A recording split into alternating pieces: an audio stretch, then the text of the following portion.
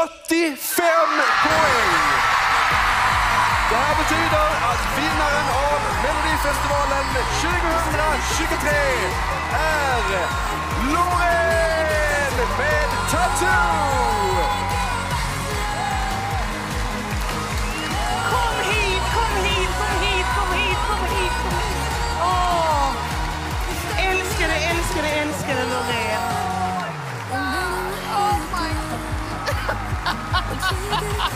Vad händer? Du har vunnit Haiti. Oh my god, kan vi dra det? Du, nu får du lova oss en grej. Nej, vadå? Men Nej, alltså, jag vill ju vinna Eurovision. nej men vad fan. Ja, Det är så halt här just nu. Kom så ska jag dra dig fram. Jag kan inte heller gå. Jag bär dig om det så behövs. Jag har gjort det förr. Kom hit. Du, jag vet, jag vet. Jag är också barfota. Kom hit. Är du redo? Publiken, är ni redo? Vinnaren av Melodifestivalen 2023 och vår representant i Eurovision Song Contest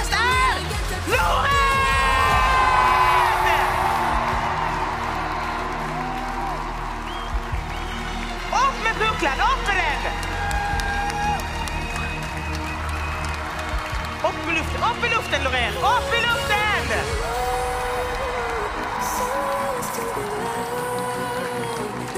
Loreen är alltså vår vinnare av Melodifestivalen 2023.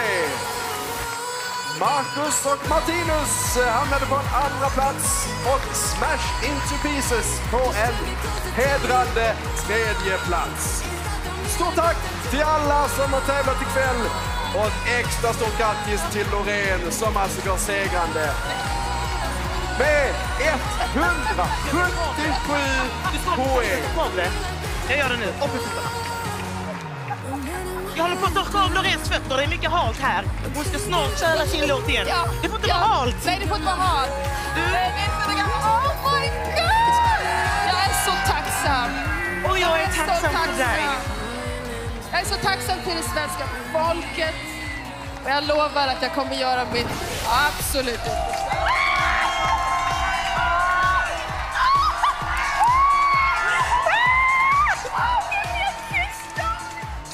Jag vet inte om de känner varandra, men han är jätteglad för Loreen.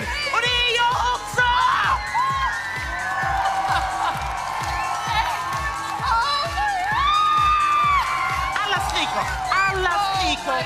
Loreen skriker, jag skriker och snart är det dags för dig att köra din låt igen. Ska jag köra min låt igen? Ja, gå upp och förbered dig. Ja, och det tar ett tag här att rigga eh, scenen för Loreens framträdande. Det är ju de här som vi internt kallar för hamburgerbröden. Ska, ska få till, ska Jag har, konfetti, jag Alltså, har ha konfetti på här. hemliga ställen. Det har Alltså. också fastnat överallt. Jag vet, jag har konfetti på... Vi, går, vi, vi pratar inte om dig. Nej, vi behöver inte prata om det. konfetti. Nej, men det tar lite tid att rigga scenen här. Alla ska ju såklart få höra Loreens framträdande en gång till. Det som vi nu alltså skickar till Liverpool i maj. Vad spännande. Ska du dit, Farah? Nej, jag ska inte dit, men jag kommer att kolla hemma och vet du vad jag känner? Nej, vad känner du? Men jag känner så varje år. Men jag känner så här, vi kommer vinna detta. Vi kommer, vi kommer ta hem det. Ja, vi kommer ta Jag hem det igen. Vi kommer ta hem det igen. Det här är så himla härlig känsla. Det är eh, underbar känsla och det är också så här att eh, det är ju, ja men det är mycket så fixat, det är mycket Ja. rök Det är det. Alltså, jag jag ska Ja. bara skicka med till folk i England nu. Ja. Alltså, börja förbereda er. För Ja, att det krävs eh, alltså, Ja, 10-20 den- den personer. väger ju flera ton, den här Ja, eh, alltså, riggen. grejen var när jag och Jesper först såg den här riggen tänkte vi det här det är, kanske, det är farligt. Det kan bli farligt. Det kan bli farligt om man känner att det blir eh, eh, ett risktillägg. Det är alltså 11 år sedan eh, sist Loreen tog hem hela kalaset så att säga. Just det, med Euphoria. Ja, och det ser vi fram emot. vi En repris, en sån repris vill man ha. Precis, och om hon vinner, då betyder det att då eh, är det ju Eurovision i Sverige nästa Ja. år. Hoppas de ringer till oss! Och nu tjuvkikar jag lite på scenen och hon börjar lägga sig så fint här. Just det. Publiken, är ni redo? Publiken är redo. Du och jag är nästan redo. Rökmaskinen är igång. Rökmaskinen är igång. Titta, nu går de och gasar. Eller det säger vi inte, utan nu går de och, och lägger Ja. rök. Det är så vi Och jag och Jesper vi kommer att checka ut alldeles, alldeles strax. Precis. Det kommer bli härligt eh, för oss som var lite lediga. Men också så kommer det vara lite tråkigt Nej, jag att vet. inte få, få eh, skoja med dig varje Jag lördagkväll. kommer sakna dig lite. Du, Jag kommer också sakna dig sakna lite. dig, Farah. Jag vill säga tack för att jag har fått göra detta med dig. Vad gulligt. Och tack till dig Jesper. Och vi är båda vill säga tack till alla er hemma som har tittat, röstat och engagerat er. Utan er är Mello ingenting. Absolut inte. Eh, Det har varit en ära att hänga med er alla de här sex veckorna. Men än är ju festen inte över. Efter att vi har hört, hört vinnaren igen så kommer ju efterfesten med Linda Bengtzing att ta över här. Men först tycker jag en stor applåd för Melodifestivalens vinnare Loreen!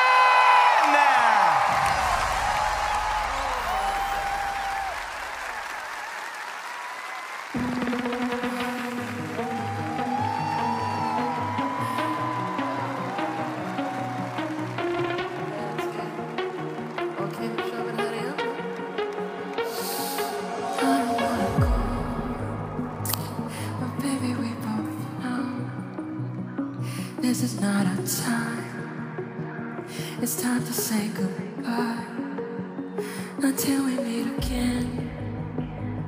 Cause this is not the end. It will come a day when we will find a way. Violence playing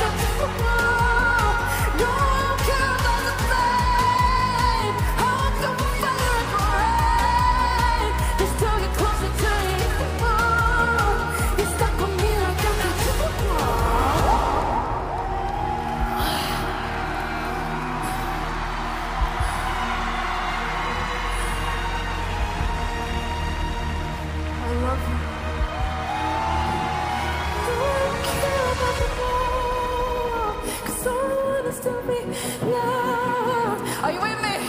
Sure. You're stuck on me like a